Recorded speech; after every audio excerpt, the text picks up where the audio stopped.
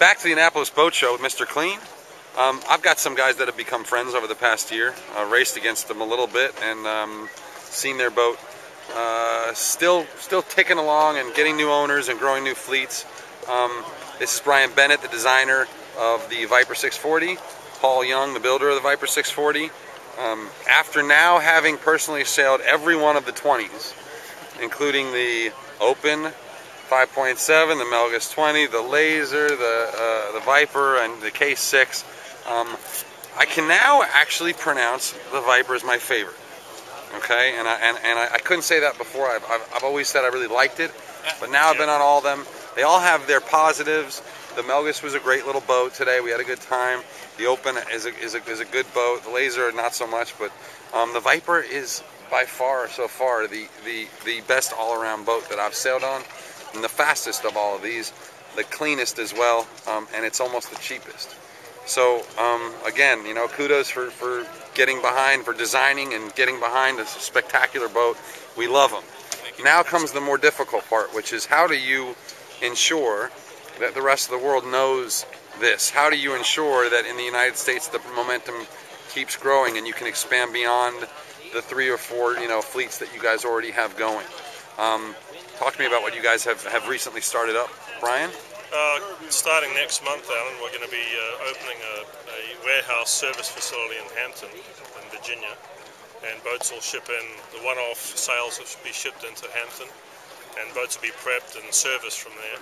Um, the commitment to fleet uh, organizations is that we'll ship boats right to yacht clubs and the boats will be unloaded there, prepped, and and any new buyers will be given what we're calling Viper University, the full training program, half day of, of coaching and sailing to get them get them up to speed. And you'll go you'll you'll go to them. I'll go to them and prep the boats personally and uh, make sure they have that initial learning curve to to familiarise them fully with the boat. Right on. And that starts up in a month. It starts in a month. So what does your winter schedule look like uh, uh, for the Viper? Uh, once the shop is set up, we'll, we'll spend. Tyler Moore's involved. Tyler is working with, has been working with Paul on the 505 project for a number of years. Once the shop is in place, uh, Paul and I are going to get together in England and look at uh, some some uh, additional moulding uh, for the Viper, and uh, just to fill the, the, demand requirements that we've seen. And you know, we're, we're, continuing to sell boats. you know, Lake Lanier has, has been a hotbed of activity. Uh, some effort put in there a month ago is producing some results. And uh, likewise in Austin, Texas, we're seeing, a, seeing some development of, of fleet activity and uh, you know, occasional sales in other parts of the country as well. So we need to service those initial, that, that, next batch of sales, which will probably be, I would say, eight to ten boats initially, and, and we'll grow from there as, as these boats are delivered. I think um, I think we talked a little bit, Paul, about how in this country anyway, and I think the UK is going to is, is already following um, the move. Even before this crisis came in, has been toward smaller, simpler, lighter boats, cheaper to campaign, less crew. Um, what do you think that's going to? How, how will you transform or transfer that fact into more sales for the Viper? I mean, it's, it's undoubtedly a fact that people are going for smaller boats. Um, you know, financial crisis notwithstanding, people are actually very time starved. And the fact that you can jump into a boat like this, you can rig it, you can go sailing, you can do two or three races, you can come back in, and you spend two, three hours of your life, not two, three days of your life to do that, is very attractive to people. The secondary benefits are they're a lot less expensive to run and own, and, and the whole ownership proposition. I wouldn't say it's getting back to dinghies, but it's, it's having the fun of dinghies, but in a decent sized boat. And I think a lot of people are up for that. Um, it just fits with modern day living. From our point of view, we, have always made small boats, so if you like, we're only capitalising on the boom that currently exists. We're very pleased to uh, to have Brian on board with us.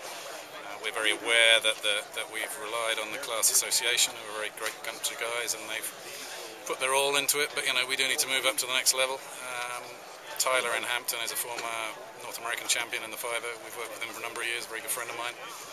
Uh, he's uh, very much on board with this project. We have a number of other potential boats that um, there is demand for over here that we're already fielding demand for. So we think that in the longer run we can expand it up anyway. And uh, we're very excited to be taking this next step. It's, it's great. Well, back to the Viper. Um, what uh, what what are the events that that Viper owners around the country might want to hitch their boat up to the truck and, and take a ride for this coming six months? What are the big ones? Uh, the big push really is the, the next push will be the Southern Circuit, you know, focusing on Charleston next year, um, the Annapolis NOOD next year, uh, St. Pete NOOD, which is of course a midwinter regatta. Uh, I'll be spending some, some time in the south, both servicing and getting the, the new Southern owners up to speed. Um, there's a few boats in Pensacola, and that fleet area will develop. Uh, so the, the initial the initial focus is to get these these new guys up to speed and and develop a southern circuit. Um, you know, primarily in uh, the Georgia, um, you know, Florida Panhandle, uh, Lake Lanier, know, Atlanta area. That's where And, the hotbed of and up activity up to Charleston and maybe southern North Carolina. All right. Well, look, uh, you got a place to stay anytime you want to come see Charleston. We got a, we got a bed for you and even a car. Thanks. All right. So uh, we, we'd love to see you and bring them bring them anytime you want. We love the boats. We uh, certainly expect to see hopefully 20 boats in Charleston this year.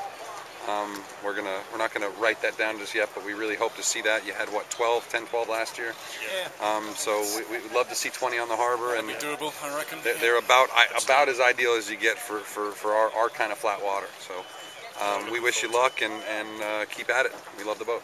Thanks, all. Great. Much Thank you very appreciated. Cheers, guys.